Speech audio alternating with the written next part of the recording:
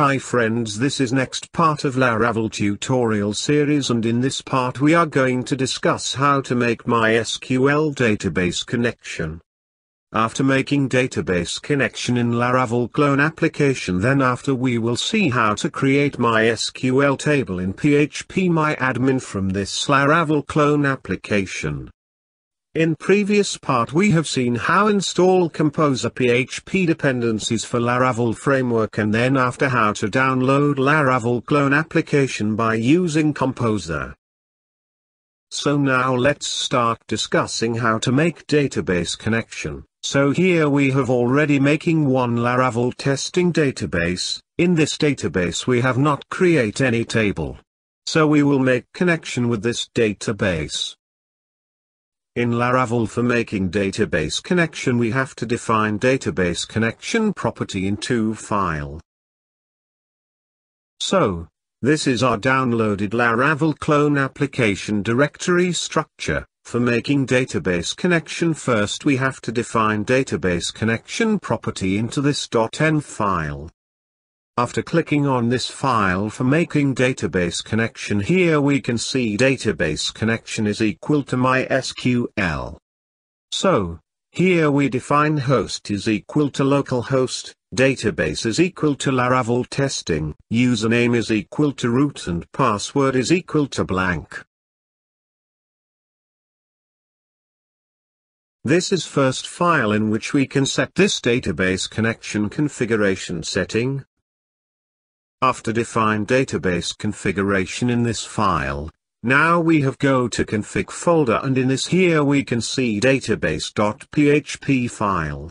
So this is second file in which we want to define database connection credential. So we have open this file and under this file we can see different database connection setting but in this by default it set MySQL database connection. But suppose you have use another database SQLite so you can change this name from MySQL to SQLite and define that database connection credential.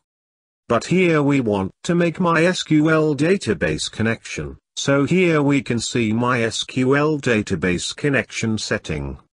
So in host key we have set localhost. In database key we have set Laravel testing database name, in username key we have set root and in password key we have set blank value. So this way we can define MySQL database setting in Laravel framework. So in this framework we want to define database setting in two file otherwise we will get database connection error. After making MySQL database connection now we want to create simple MySQL table in phpMyAdmin from this Laravel application. So for this first we have go to database folder and in this there is three subfolder like factories, migrations and seeds, so we have go to migrations folder. Under this folder we can see some file, so first we have remove that file and after remove file we have go to command prompt in which we have run composer.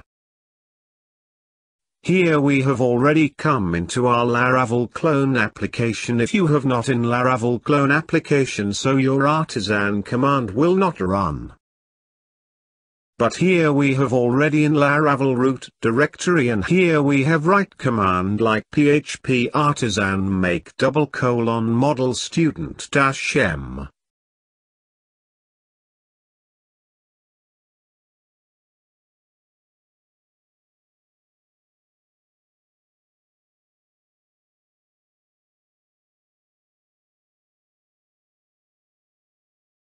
This command will generate two file one is migration file for create student table and another is student model of this Laravel application. So here we can see create student migration file in migrations folder and in app folder we can see student.php model file. We will discuss this file in next video tutorial. But first we have go to migrations folder and open create student table migration file. After open this file we can see there is some code already right in this file. This is create students table class which extends migrations class and under this we can see two method like up for create student table and migrate into PHP myadmin and second method for reverse migrate that means drop students table. In up method we can see student table structure with three column already created, because by using this schema class with create method we can build database table. This code will make students table with three column like id with auto increment and primary, and dollar table with timestamps method will create make two table column like created and updated it with data type timestamp but we want to add two more column like first name and last name, so here we have write dollar $table object with string method with table column name first name. It will make first name table column with data type varchar 255 character.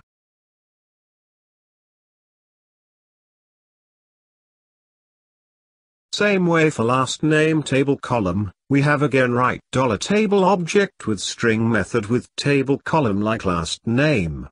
This code will also make last name table column with data type varchar 255 character.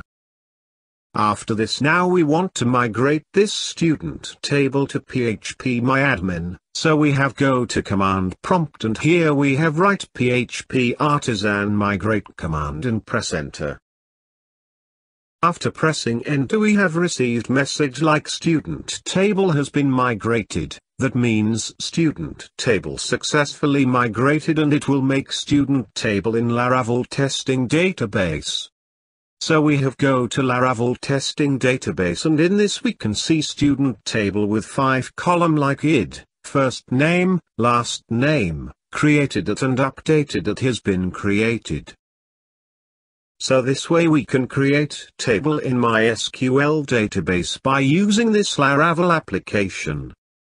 So in this video tutorial we have discussed how to make MySQL database connection with Laravel application and after making database connection how to migrate table from Laravel application to PHP MyAdmin. We will use this student table for discussing how can we insert update delete MySQL table data in Laravel application. In short we will make CRUD operation application in Laravel framework in next part. If you have any query regarding this video tutorial part, please comment your query in comment box and if you like this video tutorial please share with your friends or even you can also share on social media also.